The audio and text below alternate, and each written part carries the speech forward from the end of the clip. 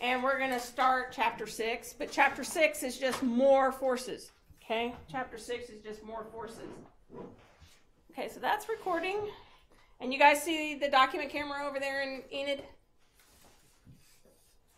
You guys see the document camera? What do you see on the screen?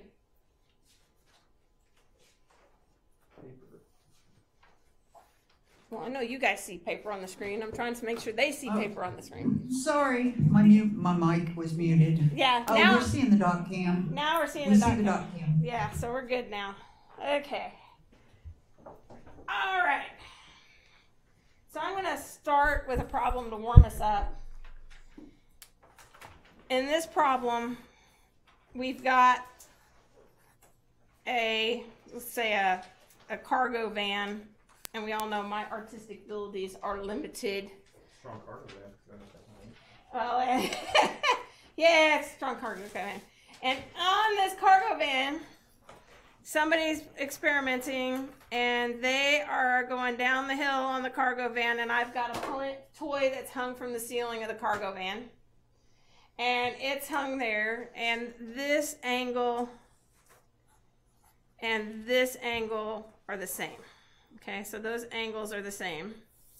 The initial velocity was equal to 30 meters per second. The final velocity is 30 meters per second. The time that it took to do this is six seconds. And the mass of the bob on the pendulum is equal to 1.00 kilograms. We want to know the angle and the tension in the string. Okay? That's what we want to know. We want to determine all the tension in the string. So, first part of this problem is that we're, we're going to be looking at a force.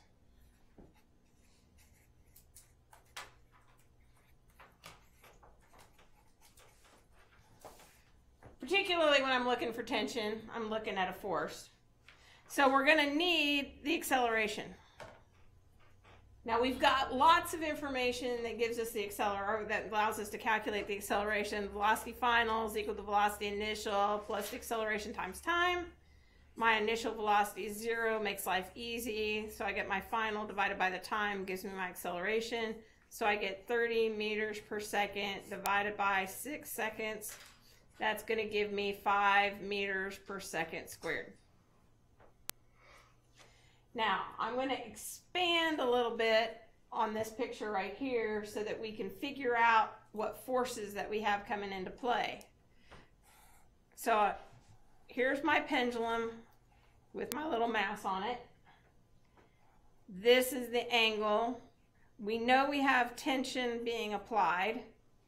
We have the weight of the mass at the bottom and we have an acceleration that's going downhill.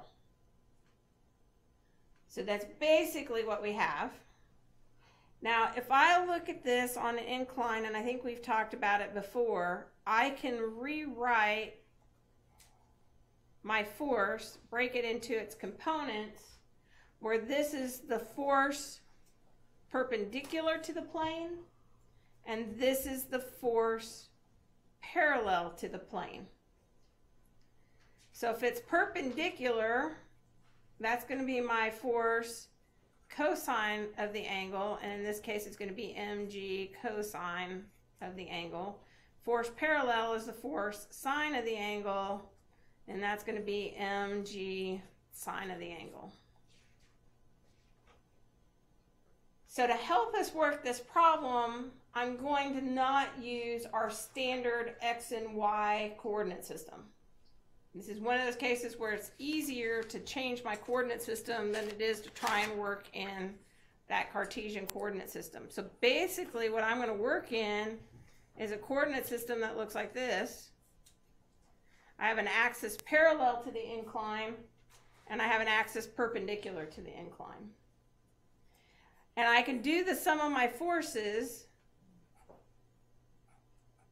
And in this case, we're looking at a static situation inside of the truck, right? We're looking at the static situation inside the truck. It's kind of that frame of reference, like being inside the elevator.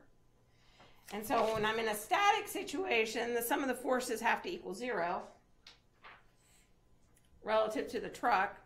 So if I'm doing the sum of the forces perpendicular or normal to the plane,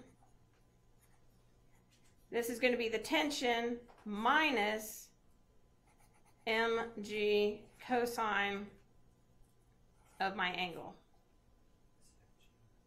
mg is the mass times gravity. It's the weight of my object. I can do this the force parallel and that's going to be the mass times the acceleration going down the hill. And in this case, I'm saying down the hill is positive to help to help out my situation. But there is the bob in the other direction. So now I've got two equations, two unknowns, once again. I don't know tension, and I don't know the angle. So the easiest way to do this one is another little math trick, right? I can do a couple of different things. I can do this this way. I can solve that m is equal to g or m. I, m's cancel out, so I get a is equal to g sine of the angle. Okay and we calculated the acceleration. So I can calculate, so I can take A divided by G is equal to the sine of the angle, the arc sine of the angle.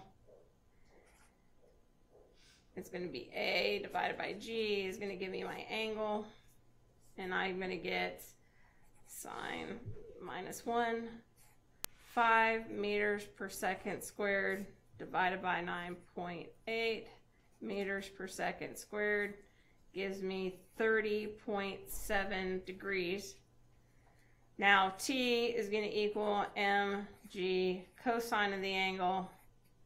That's my 0.1 kilograms, 9.8 meters per second squared cosine of 30.7 degrees gives me 0.843 newtons.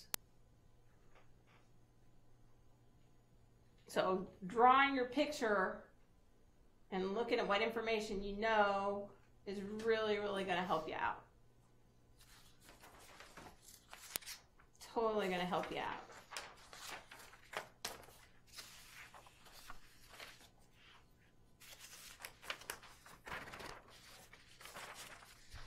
You guys good over there? Thumbs up if you're good over there in Enid. Yay, good. All right. So, so far, we've dealt with forces. We've dealt with our first condi- condition of equilibrium. But we started talking about it on, feels like Monday again. we started talking about it on Monday. But um, if I take a hockey puck and it's moving along, hockey pucks are nearly frictionless. Okay, they're nearly frictionless, so we don't have to worry about it too much. But if I do the same thing and I have a block of wood on concrete, we know something happens. If I tap this block of wood on concrete, it's going to move, but it's not going to move very far. And we had talked about that resistive force, and we kind of defined it just a little bit. And we had just written down that friction was a coefficient times the normal force. Okay? And we had just started talking about it. In fact, I, am not even sure. I think I did the calculator thing on cardboard and had it start to slip, right? Showed, did this kind of thing, and my did this part and did it and it started to slip and we could actually look at it from a calculator point of view. Now, some interesting things happen. Okay. So I can have my pin on here, and my pin is going to stay, and my pin is going to stay, and then it's going to slide. All right. And we talked about how one was static friction and one was kinetic friction once I got it to move. Well, here's something else. I'm going to take my pin here. And we're actually going to see that I can also, so I've got my pin, and so there's the kinetic friction associated with sliding, but this is one of the reasons why I switched to this book because we don't even talk about this in the other book. Is that when I actually lift it up, my pin is going to roll. And the coefficient associated with rolling is even different than the coefficient associated with just sliding. And so we get different coefficients of friction depending upon the motion that we're doing. Um, last year had uh, one of the Bartlesville, or not Bartlesville, one of the Ponca City police detectives come or come in that does accident investigations, and they talk about a skid sled that they use. That's an actual tire, part of a tire filled with concrete, and they drag it across the to drag it across the, the intersection to figure out what the um, coefficient of friction was associated with the tires. And one of the interesting things is if you slam on your brakes, that coefficient of friction is going to be different than if I'm still rolling along. Because if I'm rolling, I've got a different coefficient of friction, and that's going to help us determine, you know, speeds or whatever's happening with the result of the accident. So we, we see a lot of those. And I talked about how you can actually calculate these coefficients of friction. So let's take um, uh, indentured servitude is alive and well. It's called graduate school. It really is. It is. Indentured servitude is alive and well. It's called graduate school. And there's some poor soul out there that's measuring coefficients of friction. Okay? And it's actually a fairly simple way to do it. So I have a plane, an inclined plane, and there's an angle here. And if I've got an object on my inclined plane, just like my demonstration with my calculator, the calculator is going to sit there until all of a sudden the force is, overcomes friction that's going to allow it to slide down the plane. There's my force due to friction. And so we're going to say that we've done this. We have some object here, and we've lifted it up, and all of a sudden it starts to slide at 27.6 degrees. So when I get my, ang- my angle up to 27.6 degrees, I'm going to get this thing to start to slide. So let's look at the forces that we have, and then we're going to look at the forces parallel to the inclined plane. So I'm going to look at that force parallel to the inclined plane. And just as it starts to slip, this is when we start having to doing deal with strange things when we start looking at questions in physics. When it just starts to slip, it's just over zero because as long as it's not slipping, I have no acceleration. Okay? But as soon as it starts to slip, this is no longer going to be zero, but this is going to tell me the instant it slips, it's going to be the, I'm still kind of there. And I know that once I go a little further, I'm going down the plane. But when I say at the instant it starts to slip, I've got the force due to friction that has to be overcome by the force of the object going down parallel to the plane.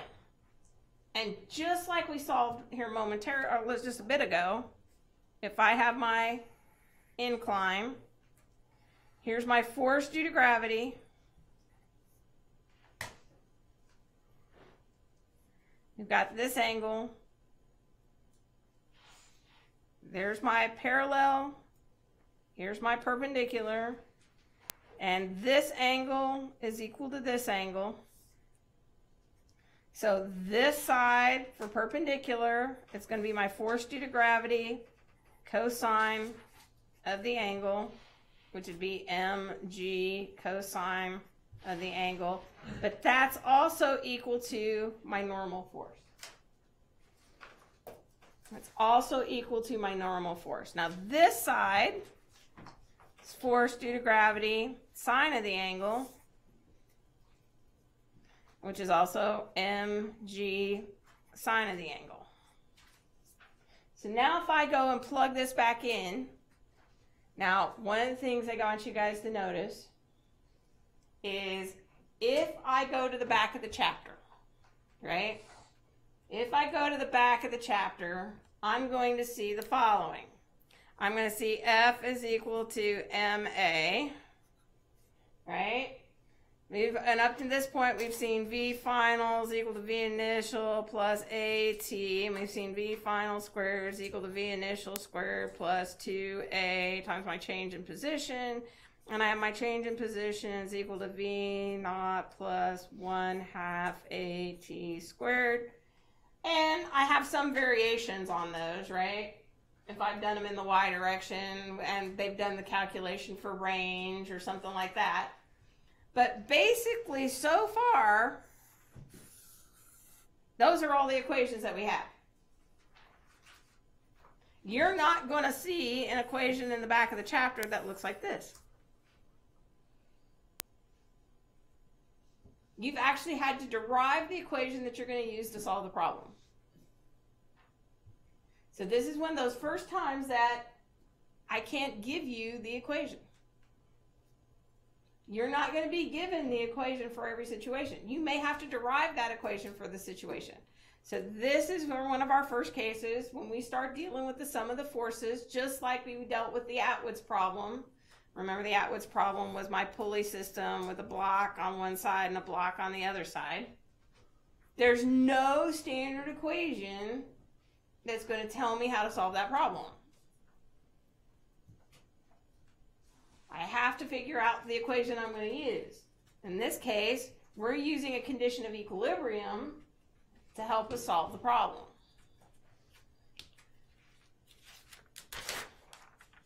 So, if I do that, well, I know what my force due to friction is. My force due to friction is my coefficient of static friction times the normal force. So now if I've got zero is equal to my force due to friction minus the force parallel, my force due to friction is going to equal the force parallel. This side becomes, I look at mg mu cosine of the angle because mg cosine of the angle is my normal force. My mu is the coefficient that I'm trying to find. And this side is mg sine of the angle. Well, life is good. Masses cancel. Gravity cancels. And mu now becomes sine of the angle divided by the cosine of the angle.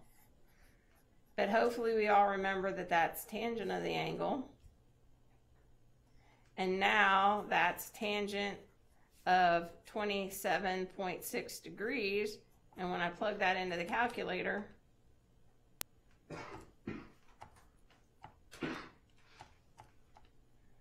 I get that it's 0.523. And it's unitless. Okay? It's coefficient, it's unitless. And this is static friction.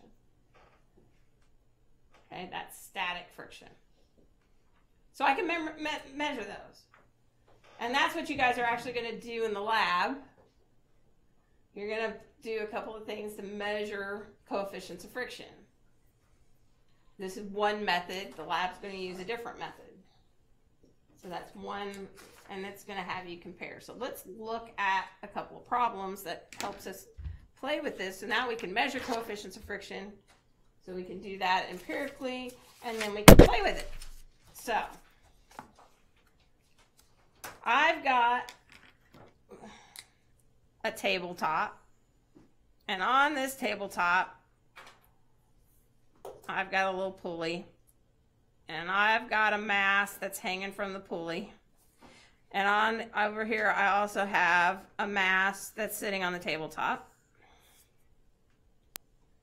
Now this mass is 0.5 kilograms.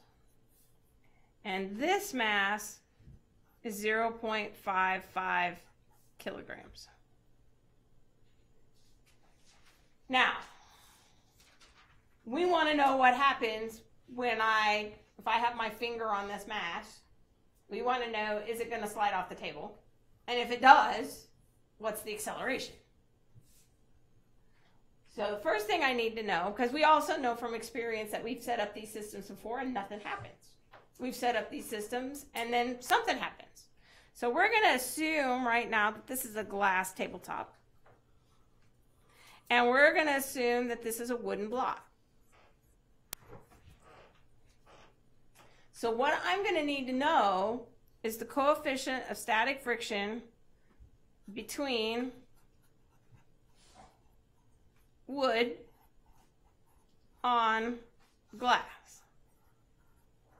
Now, if I am doing this in WebAssign, it may give me the static, it may give me the coefficient of friction.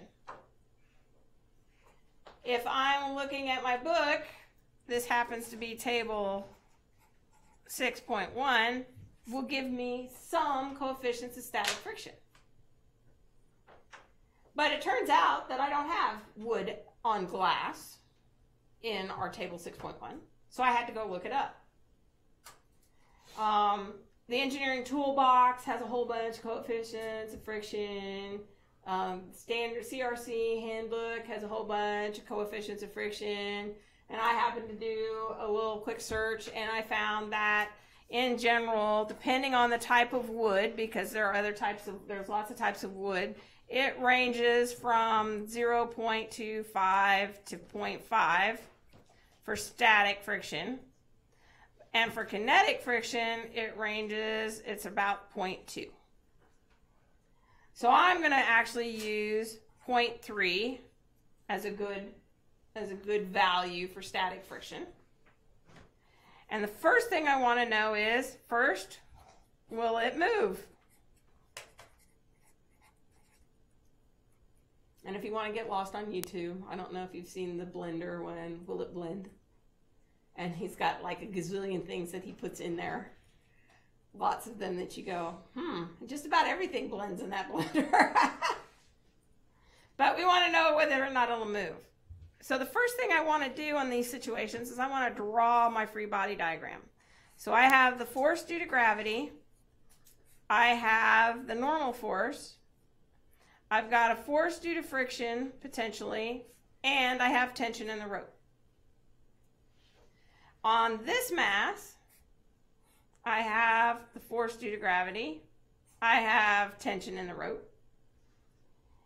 And if I look at this, the sum of the forces in the x direction, if it's going to be greater than zero, what's going to happen is that the tension has got to be bigger than the force due to friction.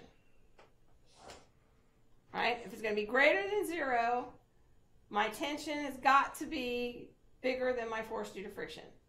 Anything less, and the block's going to sit there. And this is static. Okay, that's static. Anything less and the block's going to sit there. Over here, because I'm in that situation, right, I've got mass times acceleration and I've got tension. But at the point where this is going to break free, to find out if it's going to move, the tension is equal to mg. Well, that's good. So I can solve for that. If that's 0.55, so that's 0.55 kilograms. Gravity is 9.8. That tells me that the tension in the rope is going to be 5.39 newtons. Well, my force due to static friction is going to be mu times my static friction times the normal force, which is going to be 0.3 my normal force is 0.5 kilograms times 9.81. And if I plug that in, I find out that that number works out to be like um, 1.47 newtons. Tension in the rope is bigger than that, so it's going to start to move.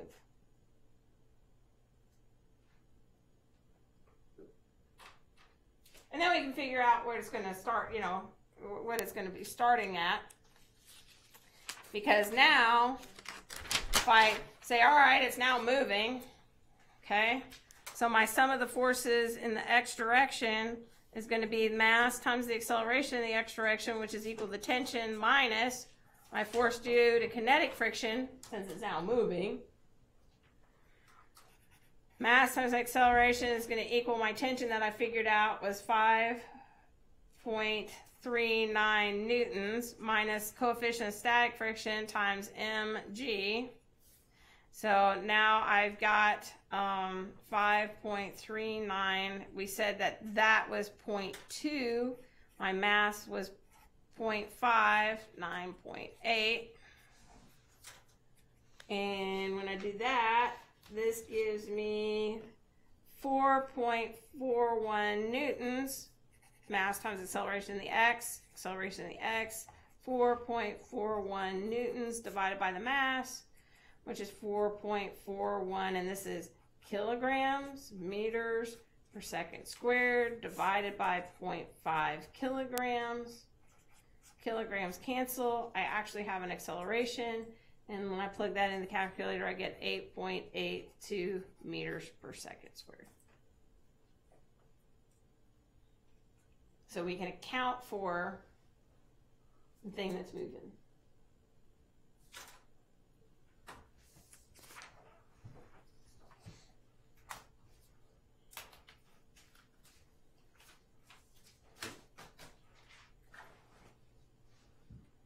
So we're going to look at a problem very similar to this, a little more complicated.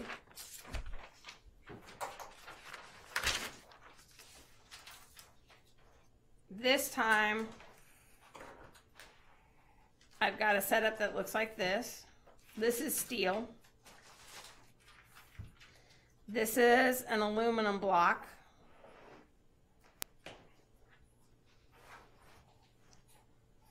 This is a copper block. We've got 2.0 kilograms of aluminum. We have 6.0 kilograms of copper. We can look up the coefficients of kinetic friction. So the coefficients of kinetic friction for aluminum is 0.47. Static friction is 0.61. Kinetic friction for copper is 0.36. Static is 0.53. And that's for copper on steel, and that's for aluminum on steel.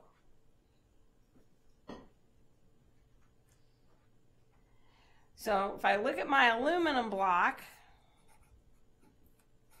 I've got a normal force, I've got mass acceleration, I've got tension in the string, and I've got a resistive force due to friction.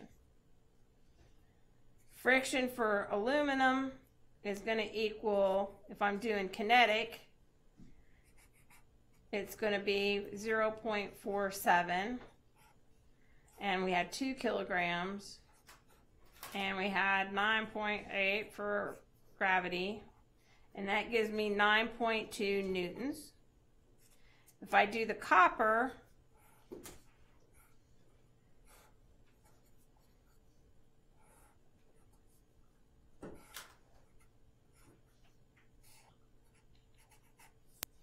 I got to do those lovely sine things again.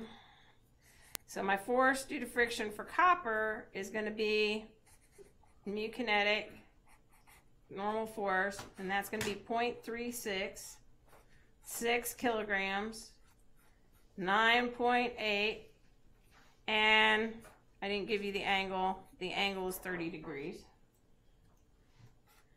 And that's cosine of 30 degrees. This gives me 18 newtons. So if this system moves, I'm going to have the sum of the forces on the aluminum block are going to equal mass times acceleration, tension minus the force due to friction. If I do it for the copper block, I still get mass times acceleration. And this is going to be mg sine of the angle because that's the force that's causing it to go down the, the parallel side minus the tension minus the force due to friction.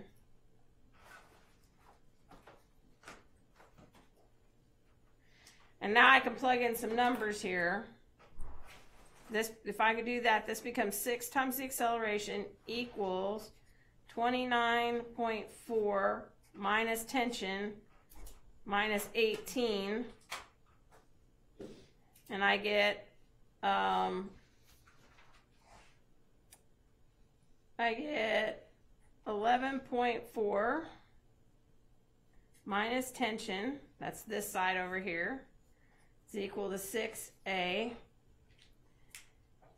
Now I've got two equations, two unknowns, because this one works out to be, I have this mass, which is 2 times the acceleration, is equal to tension minus 9.2.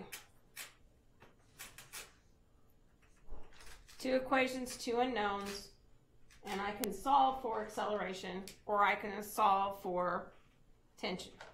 And so let's go ahead and do that real quick.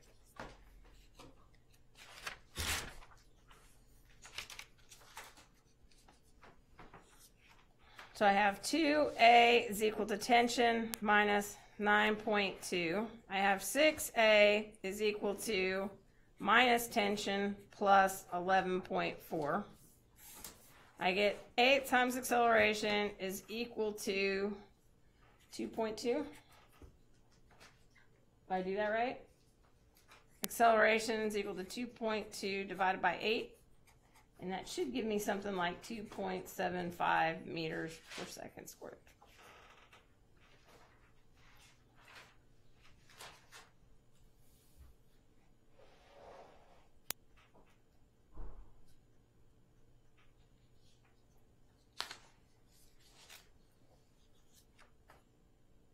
Oh, good. I got time.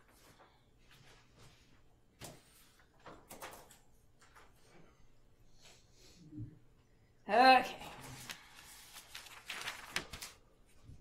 My favorite is problem.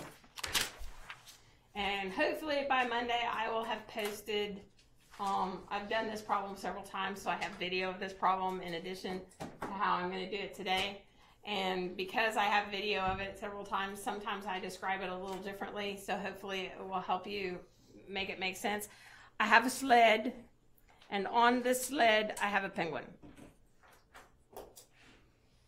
So there's my penguin on the sled. We want to know what force we can apply.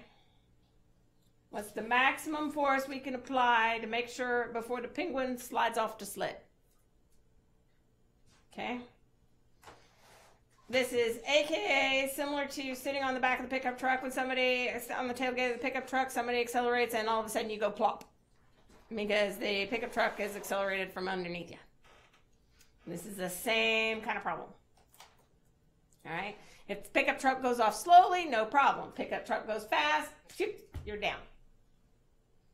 So we've seen this multiple times. So the sled has a weight of 60 newtons. It's already a force. So when you guys are working these problems, double check because they may give you a force already. Pounds are a force, newtons are a force. The coefficient of friction, 0.1, is between the sled and the snow with just the sled. The penguin has a force of 70 newtons. And the coefficient of friction, and this is static friction, is 0.7 between the penguin and the sled. We want to find the maximum force that can be exerted before the penguin slides off. So if I look at this, I've got the force of the penguin, I've got the force being applied, I've got a normal force on the penguin. If I look at the sled, I have the weight of the penguin plus the weight of the sled. I've got the force being applied, and this is going to be 70 newtons plus 60 newtons is equal to 130 newtons. And then I have a normal force of the penguin plus the sled. When the penguin starts to slip, the force is going to equal the coefficient of static friction times the normal force, which is going to equal the force being applied. This is the force that we're trying to look at, which is going to equal the mass of the penguin times the acceleration of the penguin. So the acceleration of the penguin when it starts to slip is the coefficient of static friction, the normal force, divided by the mass of the penguin. This ends up being the coefficient of static friction, the mass of the penguin times gravity divided by the mass of the penguin. So we end up with coefficient static friction times gravity.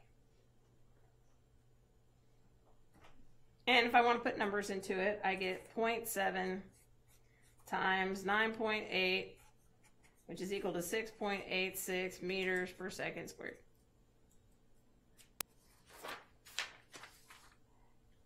So what this means is so if the force exceeds an acceleration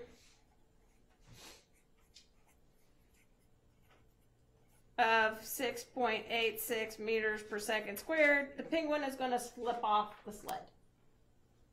And we're going to have to collect him. And he'll probably be a very mad penguin. I don't know what you guys, but I don't think I want a mad penguin after Okay? So now we're going to look at the whole system. So the summation of forces on the whole system is going to be the force applied minus the force due to friction times the mass of the system times the acceleration of the system. And this is the friction of the sled in the snow.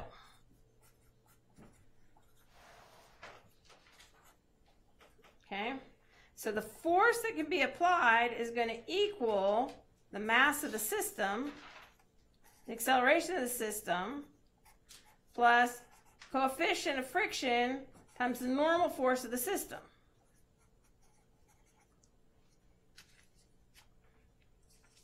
So the mass of the system we said was 130 newtons, or, or this is 130 newtons, and because it was a mass, I have to divide by gravity. I need to divide by gravity. My acceleration is my 6.86 meters per second squared. This time I have to put the coefficient between the sled and the snow, and the normal force is 130 newtons, because that's the whole system. So this becomes 130 divided by 9.8 times 6.86 meters per second squared plus 0.1 times 130. This ends up being 91 newtons plus 13 newtons is equal to 104 newtons. And if I pull the sled with a force greater than 104 newtons, this, the penguin's going to go tumbling off.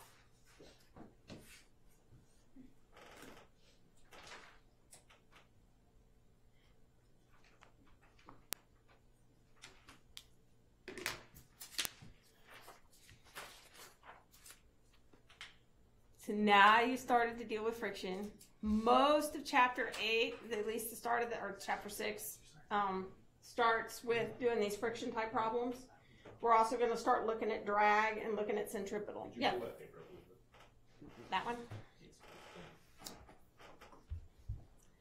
So you guys can start your chapter six homework. Got a quiz on Friday. Class won't meet on Friday which is good because I think people are going to be disappearing for a variety of reasons. and we go from there. I will be over in Enid, guys, um, Friday morning. I'll probably leave at about 11:45 if you guys need it need to catch me for something.